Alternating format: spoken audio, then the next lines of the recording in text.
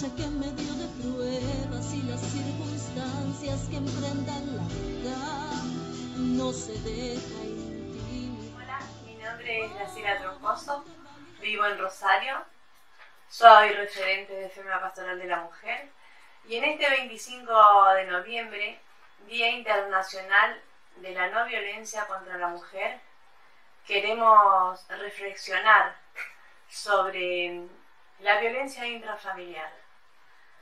Eh, queremos reflexionar por esta problemática de acuerdo a lo que conocemos y vivenciamos día a día desde nuestras comunidades. La violencia intrafamiliar es uno de los tantos tipos de violencia que podemos encontrar. Es la acción u omisión que ejerce un integrante, miembro de la familia, a través de su abuso de poder. La violencia intrafamiliar no tiene diferencia social, pero en los contextos de vulnerabilidad se conoce más ya que las mujeres denuncian más. Y hay una escasez de, de comunicación, de falta de escolarización, de un trabajo continuo. Y eso hace que las mujeres continúen en este vínculo enfermizo y violento dentro de sus hogares. En, esos hogares no, las mujeres no saben, no pueden, y cuando digo las mujeres no, no estoy generalizando, se está hablando de un contexto en, en cuestiones eh, sin poder resolver lo que están viviendo.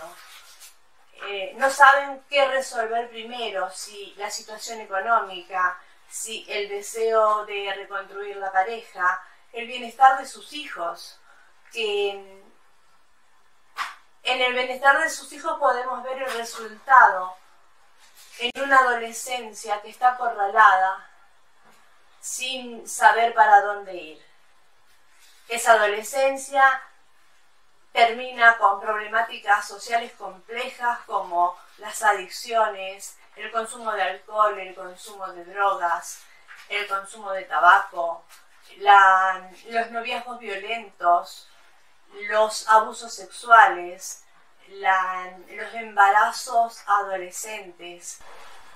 No más violencia intrafamiliar, no más violencia en los adolescentes, basta de estereotipar, Basta de hostigar a la adolescencia.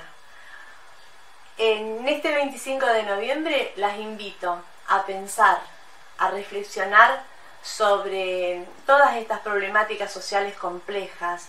Como mujeres metodistas, hoy levantamos nuestras voces para decir basta. Dios las bendiga a cada una en este tiempo.